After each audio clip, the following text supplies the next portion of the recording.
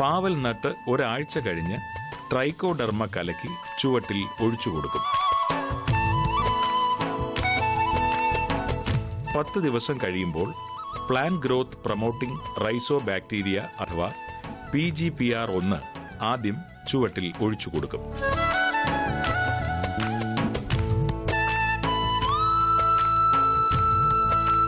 P G P R രണ്ട് ഒരു മാസം കഴിഞ്ഞ് ഒന്നുകൂടി ചെടിയുടെ ചുവട്ടിൽ ഒഴിച്ചു കൊടുക്കുന്നത് നല്ലതാണ്.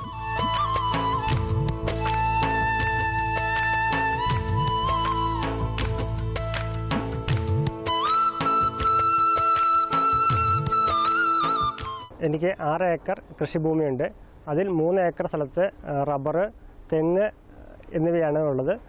ബാക്കി വരുന്ന മൂന്ന് ഏക്കർ സ്ഥലത്ത് വിവിധതരം പച്ചക്കറികൾ കൃഷി ചെയ്യുന്നു. പാവൽ പടവലം പീച്ചിൽ വെണ്ട വഴുതന സോയാബീൻസ് ചീര എന്നിവയാണ് കൃഷി ചെയ്യുന്നത്. പൂർണമായിട്ടും ഓർഗാനിക് രീതിയാണ് ഞാൻ അവലംബിക്കുന്നത്. പച്ചക്കറികൾ എനിക്ക് വിൽ- വിൽപ്പന വിൽപ്പന ശരിയായ രീതിയിൽ വില കിട്ടുന്നില്ല. കാരണം ഓർഗാനിക് രീതിയിൽ ഉണ്ടാക്കുന്ന പച്ചക്കറിക്കും വിഷം ചേർത്ത് വരുന്ന മാർക്കറ്റിൽ വരുന്ന പച്ചക്കറിക്കും ഒരേ വിലയാണ് കിട്ടുന്നത്. സർക്കാരിന്റെ ഭാഗത്തു നിന്ന് ഈ ജൈവ പച്ചക്കറികൾ ഏറ്റെടുത്ത് നല്ല വില കൃഷിക്കാർക്ക് കൊടുക്കാനുള്ള സംവിധാനം ഉണ്ട് എങ്കിൽ വളരെ ഉപകാരമായിരിക്കും. ഈ പ്രാവശ്യം കൃഷി ചെയ്യുന്നതിനുള്ള വിത്ത് ഞങ്ങളുടെ സർവീസ് സഹകരണ ബാങ്കിൽ നിന്നും ആണ് കിട്ടിയത്. നല്ല ഇനം വിത്തുകളായിരുന്നു. എല്ലാം ഹൈബ്രിഡ് വിത്താണ് കിട്ടിയത്. അതുപോലെ കൃഷിഭവൻ വഴി നല്ല സഹായമാണ് എനിക്ക് കിട്ടിക്കൊണ്ടിരിക്കുന്നത്. കൃഷി ഓഫീസർമാരാണെങ്കിലും ആത്മ ഭാഗത്തു നിന്നും നല്ലൊരു സഹകരണം കിട്ടുന്നുണ്ട്. അവർ ആഴ്ചയിൽ തന്നെ വന്ന് ഫീൽഡ് വന്ന് സന്ദർശിക്കുകയും രോഗങ്ങൾ ഉണ്ടെങ്കിൽ അപ്പം തന്നെ അത് നിർദ്ദേശങ്ങൾ തരികയും അതിന് വേണ്ട മരുന്നുകൾ ജൈവ കീടനാശിനികൾ ഞാൻ ഉപയോഗി ഉപയോഗിക്കും. ആദ്യം രാസവളവും രാസകീടനാശിനികളും ഉപയോഗിച്ചാണ് കൃഷി ചെയ്തിരുന്നത്. ഇപ്പോൾ ഒരു നാല് വർഷത്തോളമായിട്ട് രാസകീടനാശിനികളോ രാസവളങ്ങളോ ഉപയോഗിക്കാതെ ഉള്ള കൃഷിയാണ് ചെയ്യുന്നത്. വിളവിൽ എനിക്ക് അന്നും ഇന്നും കുറവില്ല. അന്ന് ആ അന്ന് കിട്ടുന്ന വിളവ് തന്നെ ഇപ്പോഴും കിട്ടുന്നുണ്ട്. രണ്ടര മാസം മുതൽ വിളവെടുപ്പ് തുടങ്ങി. ഇപ്പോൾ മൂന്ന് മാസമായി. ആദ്യ വിളവെടുപ്പിന് നാൽപ്പത് കിലോ പാവയ്ക്ക് ലഭിച്ചു.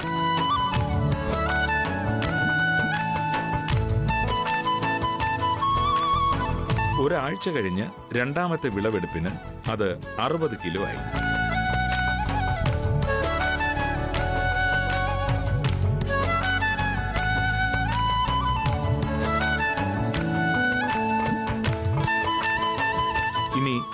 മാസം കൂടി വിളവെടുപ്പ് സാധ്യമാകും. എത്ര കുറഞ്ഞാലും ഇതിൽ നിന്ന് ആയിരം കിലോ പാവയ്ക്കയിൽ കുറയില്ല എന്നാണ് ഡേവി പറയുന്നത്. മുപ്പത്തിയഞ്ച് രൂപ നാൽപ്പത് രൂപ വിലയ്ക്ക് വിൽക്കാനും സാധിക്കുന്നുണ്ട്.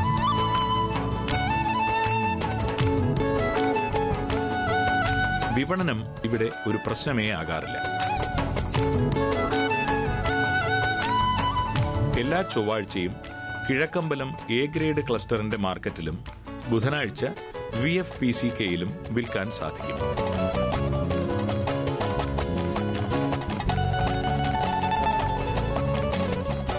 സർവീസ് സഹകരണ ബാങ്കിൽ നിന്ന് ഫ്രീ ആയിട്ടാണ് വിത്ത് ലഭിച്ചത്.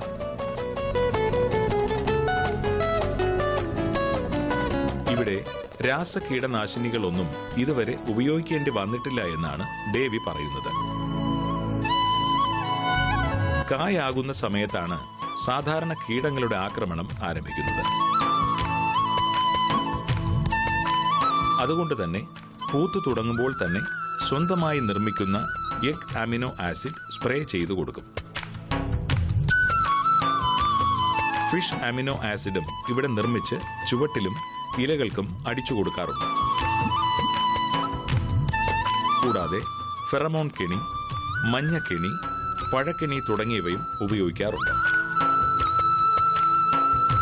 കീടങ്ങളെയെല്ലാം പ്രതിരോധിക്കാൻ സാധിക്കുന്നുണ്ട് എന്നുള്ളത് ഈ തോട്ടം കണ്ടാൽ തന്നെ മനസ്സിലാകും.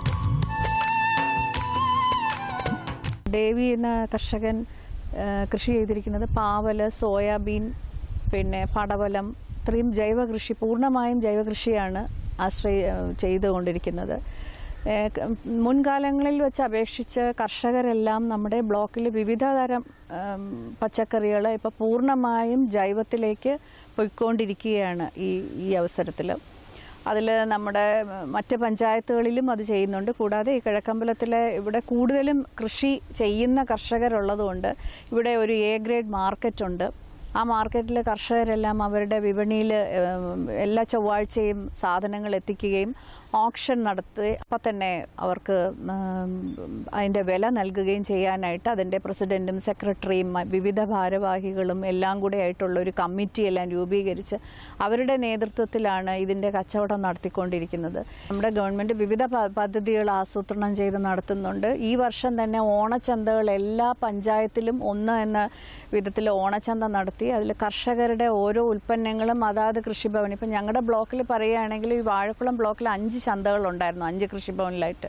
ആ സ്ഥലങ്ങളിലെല്ലാം തന്നെ കർഷകരുടെ അവരെ അതാത് പഞ്ചായത്തുകളിൽ ഉൽപ്പാദിപ്പിച്ച വിവിധതരം വിവിധ തരം ഐറ്റംസ് അതാത് കൃഷിഭവൻ തലത്തിലെ ചന്തയിൽ തന്നെ നല്ല വില കൊടുത്ത് അതായത് മാർക്കറ്റ് റേറ്റിനേക്കാളും പത്ത് ശതമാനം കൂട്ടിയ വിലയാണ് കർഷകർക്ക് കൊടു- കൊടുത്തത്. അതിൽ ശ്രീ ഡേവി എന്ന കർഷകനും കൂടാതെ അതിനോടനുബന്ധിച്ച് കിഴക്കമ്പലത്തിലുള്ള മറ്റ് ഒരുപാട് പച്ചക്കറി ചെയ്ത കർഷകരും ജൈവമായിട്ട് ചെയ്ത പച്ചക്കറികൾ ഈ ചന്തയിൽ കൊണ്ടുവരികയും അവർക്ക് അവരുടെ പ്രോഡക്ട്സിന് ഈ പറഞ്ഞ രീതിയിൽ മാർക്കറ്റ് വിലയേക്കാളും പത്ത് ശതമാനം കൂട്ടി ഉൽപ്പന്നങ്ങൾ കൃഷിഭവൻ തലത്തിൽ പ്രൊക്യൂർ ചെയ്തിട്ട് അത് ജനങ്ങൾക്ക് ഇവിടെ തന്നെ കച്ചവടം നടത്തിയത് ഒരു ഇതിന്റെ ഒരു വഴിത്തിരിവിൽ തന്നെയാണ്. ഇതേ പന്തലിൽ പതിനാല് തടം പടവലവും നട്ടിരിക്കുന്നു. കായ്ച്ചു തുടങ്ങുന്നതേ ഉള്ളൂ. നട്ട രീതിയെല്ലാം ഒരുപോലെയാണ്.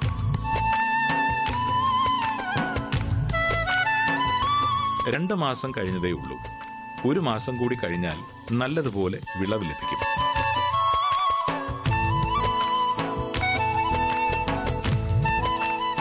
പതിനഞ്ച് ദിവസത്തിൽ ഒരു വളപ്രയോഗം. സ്ലറിയോ ഗോമൂത്രം നേർപ്പിച്ചതോ ചുവട്ടിൽ ഒഴിച്ചു കൊടുക്കും.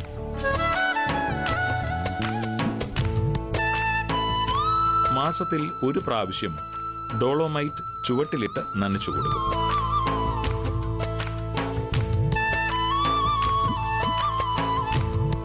നനയ്ക്കാനായി കിണറും പൈപ്പും സ്പ്രിംഗ്ലറുമെല്ലാം ചെടിയുടെ ഇടയിലായി സ്ഥാപിച്ചിരിക്കുന്നു. പീച്ചിലും കോവലും ഇതുപോലെ തന്നെ കൃഷി ചെയ്തിരിക്കുന്നു.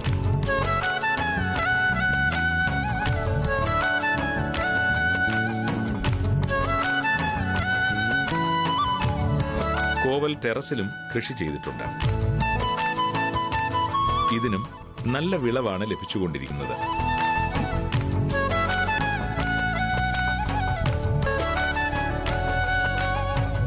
ഓരോ വിളവെടുപ്പിനും മുപ്പത് മുതൽ നാൽപ്പത് കിലോ വരെ ലഭിക്കാറുണ്ടെന്നാണ് ഡേവി പറയുന്നത്. കിലോ മുപ്പത് രൂപ നിരക്കിൽ വിൽക്കാനും സാധിക്കുന്നുണ്ട്.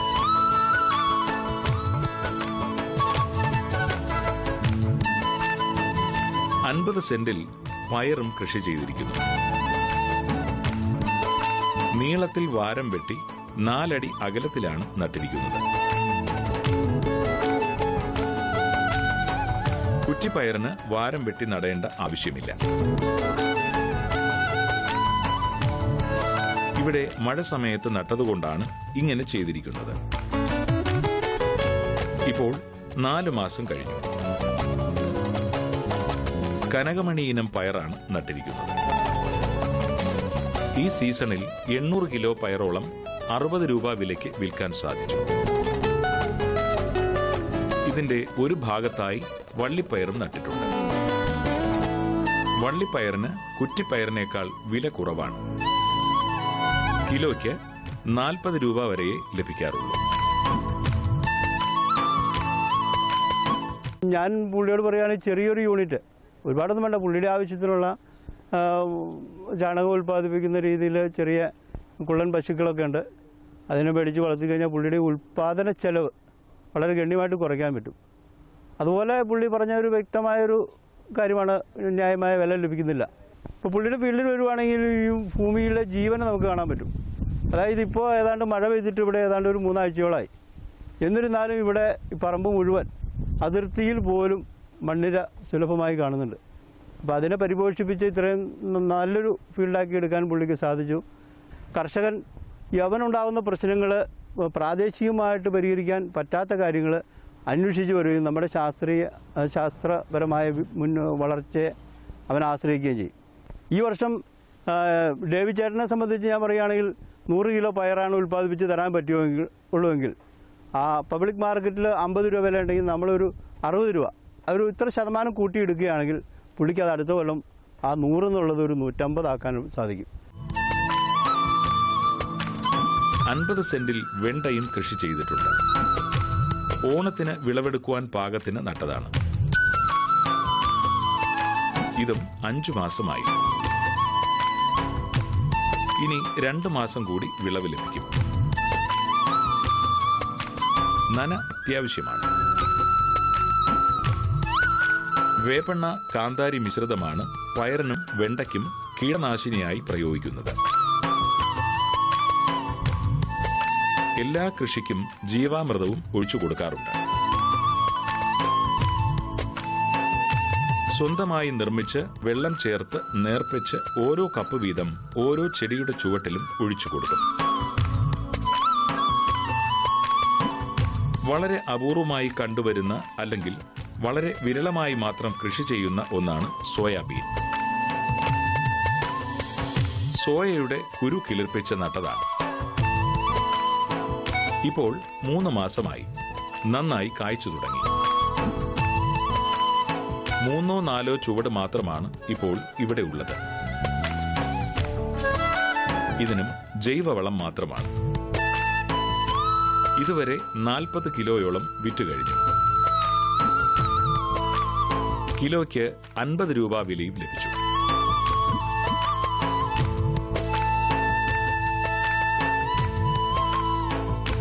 സോയാബീൻ മൂത്ത് കഴിഞ്ഞ് പറിച്ച് വെയിലത്തിട്ട് ഉണക്കി ആട്ടി സോയ ഓയിൽ എടുത്തതിന് ശേഷം കിട്ടുന്ന പിണ്ണാക്ക് പ്രോസസ് ചെയ്തതാണ് നമുക്ക് കടയിൽ നിന്ന് കിട്ടുന്ന സോയ കേക്ക്. ഇത്രയും പ്രോട്ടീൻ റിച്ച് ആയിട്ടുള്ള വേറൊരു പച്ചക്കറിയും ഇല്ല എന്നാണ് പറയപ്പെടുന്നത്. ജൈവ കൃഷി രംഗത്ത് ഈ പഞ്ചായത്തിലെ ഏറ്റവും മികച്ച ഒരു കൃഷിക്കാരൻ എന്ന് പറയാവുന്ന ഒരാളാണ് ഡിവീസ്. അതിനാ ഈ കൃഷിയുമായി ബന്ധപ്പെട്ട് കേരള കർഷക സംഘം വളരെ മുൻകൂട്ടി തന്നെ ജൈവ കൃഷിയിൽ കൃഷിക്കാരെ പ്രോത്സാഹിപ്പിക്കുന്ന ഒട്ടേറെ പ്രവർത്തനങ്ങൾ ഇവിടെ നടത്തിയിട്ടുണ്ട്. അതിന് സഹായകരമായി ഇവിടുത്തെ മറ്റേ ഒരു സഹകരണ സംഘം മലയാളം സർവീസ് സഹകരണ ബാങ്കും ബാങ്ക് കഴിഞ്ഞ പ്രാവശ്യം ഏതാണ്ട് ഇരുപതിനായിരം രൂപയുടെ വിത്താണ് സൗജന്യമായി നമ്മൾ കൃഷിക്കാരുടെ എത്തിച്ചത്. അപ്പോൾ ഇതിന്റെ ഒരു ബാക്കപ്പ് എന്ന് വെച്ചാൽ ഇപ്പോൾ നേരത്തെ സൂചിപ്പിച്ച പോലെ നമുക്ക് ജൈവ ഉൽപ്പന്നങ്ങൾക്ക് മതിയായ വില കിട്ടുന്നില്ല എന്നുള്ളത് കൊണ്ട് തന്നെ ഇത് കൃഷിക്കാരൻ കണ്ടിന്യൂ ചെയ്യാനുള്ള സാധ്യത കുറവാണ്. അതുകൊണ്ട് ജൈവ കൃഷിക്ക് മാത്രമായി സ്കീം തയ്യാറാക്കി കൃഷിക്കാരെ സഹായിക്കാനുള്ള സംവിധാനം ഉണ്ടാവണം. ഒന്ന്. മറ്റൊന്ന് നമ്മുടെ കൃഷിയിടങ്ങൾ ഒത്തൊട്ട കൃഷി തരിച്ചാണ്. ജൈവ കീടനിവാരണം അസാധ്യമാകുന്നൊരു സ്ഥിതി ഇപ്പോൾ ഉണ്ട്. കാരണം നമ്മുടെ പരമാവധി കൃഷിയിടങ്ങളെ കൃഷിയോഗ്യമാക്കിയെങ്കിൽ മാത്രമേ നമുക്ക് കീടനിവാരണം ഒരു പരിധിവരെ സാധിക്കുകയുള്ളൂ. ക്വാളിറ്റിയുള്ള വിത്ത് നമുക്ക് ഇന്ന് നമ്മുടെ ഏജൻസികളിൽ നിന്ന് ലഭിക്കുന്നില്ല എന്ന പോരായ്മയുണ്ട് അത് പരിഹരിക്കാതെ ഇപ്പോൾ സാധാരണ കൃഷി ചെയ്ത് കഴിയുമ്പോഴാണ് നമ്മൾ അതിന്റെ ഉൽപ്പാദനക്ഷമതയില്ലാത്ത വിത്താണ് നമ്മുടെ മുമ്പിലുള്ളത് എന്ന് തിരിച്ചറിയാം അതുകൊണ്ട് വരുന്ന നഷ്ടം ഭീമമാണ്. അതുകൊണ്ട് തന്നെ വിത്ത് കേന്ദ്രങ്ങളെ അത് സജീവമാക്കാനും ശാസ്ത്രീയമാക്കാനും പറ്റുന്ന ഒരു സാഹചര്യം നമുക്കുണ്ടാകണം. ഇരുപത് സെന്റിൽ കരനെല്ലും കൃഷി ചെയ്തിരിക്കുന്നു. ഉമ ഇനം നെൽവിത്താണ് നട്ടിരിക്കുന്നത്. പറമ്പ് ചാണകമിട്ട് ഉഴുത് ഒരുക്കിയെടുത്ത് നട്ടതാണ്. എല്ലാ ദിവസവും നന ആവശ്യമായി വന്നിരിക്കുന്നു. അത് സാധിക്കുന്നില്ല. എന്നാലും മോശമല്ലാത്ത വിളവ് പ്രതീക്ഷിക്കുന്നു. എല്ലാ ഇനം വാഴകളും ഇവിടെ കൃഷി ചെയ്തിട്ടുണ്ടെങ്കിലും ഏത്തവാഴ തന്നെയാണ് പ്രധാനമായും ഉള്ളത്. ഇത് നട്ടിരിക്കുന്ന സ്ഥലം താഴ്ന്ന പ്രദേശമായതുകൊണ്ട് വെള്ളം പ്രശ്നമാകുന്നില്ല. ഒരു ചുവട്ടിൽ രണ്ട് കന്ന് വീതം നടുന്ന രീതിയാണ്. ഒരു ചെലവിൽ രണ്ട് വാഴയും കുലയ്ക്കും എന്നാണ് ദേവി പറയുന്നത്. ഓണത്തിന് നൂറോളം കുലകൾ വെട്ടി. ഇനി അൻപതോളം കുലകൾ കൂടി വെട്ടാറായി നിൽക്കുന്നു. ആയിരം ടിഷ്യൂ കൾച്ചർ ഏത്തവാഴ വാങ്ങി വച്ചിട്ടുണ്ട്. ഇതിന്റെ വിളവെടുപ്പ് കഴിഞ്ഞാൽ അടുത്ത കൃഷിയായി ഇത് ആരംഭിക്കും. ഇവിടെ ഞങ്ങൾ വീട്ടിൽ ആവശ്യത്തിനുള്ള എല്ലാ പച്ചക്കറികളും തന്നെ നട്ട് ഉണ്ടാക്കുന്നുണ്ട്. ഞങ്ങളുടെ ആവശ്യം കഴിഞ്ഞിട്ടുള്ള പച്ചക്കറികൾ അടുത്ത് ഉള്ളവർക്ക് ആവശ്യക്കാർക്കെല്ലാം ഞങ്ങൾ വിതരണം ചെയ്യുന്നുണ്ട്. വീട്ടിൽ തന്നെ വന്ന് കുറേ പേര് ആവശ്യക്കാർ വന്ന് വാങ്ങിക്കൊണ്ട് പോകുന്നുണ്ട്. പിന്നെ ഞാൻ ജോലിക്ക് പോകുന്നതിന്റെ ഇടയ്ക്ക് എനിക്ക് കിട്ടുന്ന ഫ്രീ ടൈമിൽ ഹസ്ബൻഡിന് എല്ലാവിധ സഹായങ്ങളും ചെയ്തു കൊടുക്കാറുണ്ട്. ഇഞ്ചി മഞ്ഞൾ തുടങ്ങിയവയും വാഴയ്ക്ക് ഇടവിളയായി നട്ടിട്ടുണ്ട്. അഞ്ച് കിലോ വിത്ത് വീതം നട്ടതാണ്. പതിനഞ്ചിരട്ടിയാണ് വിളവ് പ്രതീക്ഷിക്കുന്നത്. ഇതിന്റെ കൂടെ തന്നെ വെള്ളരി ചുരയ്ക്ക തുടങ്ങിയവയും വിളഞ്ഞു കിടക്കുന്നു. പത്ത് ഏക്കർ തരിശു ഭൂമിയിൽ നെൽകൃഷി ചെയ്യാനുള്ള തയ്യാറെടുപ്പിലാണ് ദേവി കൊത്തമരക്കയും ഇവിടത്തെ മറ്റൊരു പ്രധാന ആകർഷണമാണ്.